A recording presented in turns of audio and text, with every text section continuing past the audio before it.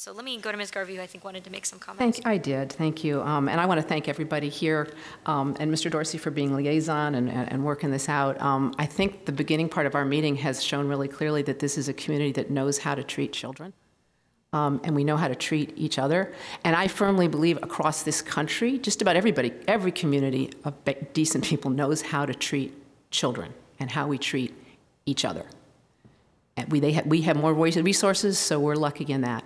But at the highest levels of our federal government, we have people who do not know how to handle children and families and how to be a decent human being. This is not about Republican and Democrat. There are people that are trying to talk about this. And I will say what set me off was I came to, to the offices not too long ago listening to the ProPublica tape of the children being torn from their parents, and I'm still going to be emotional about it.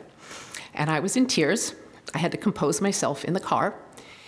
Anybody listening to this or here in this room, if you have not listened to that tape, you need to, because it will be very upsetting and it will make you decide that you have to do something. Again, this is not about Republican and Democrat. It's not about legal and illegal. This is about good and evil. There is no, no justification for tearing children from their parents the way we have been doing. There, it's talk about the Bible or the law as a justification, and that is an abomination. That is taking what is good in our culture, in our humanity, and turning it and putting it as an excuse for evil. There is no excuse for this policy, none whatsoever. So I apologize for being as emotional as I am, but I would like everyone to listen to those tapes and do whatever you can to stop this. There'll be demonstrations, do that. Write to people, talk to people.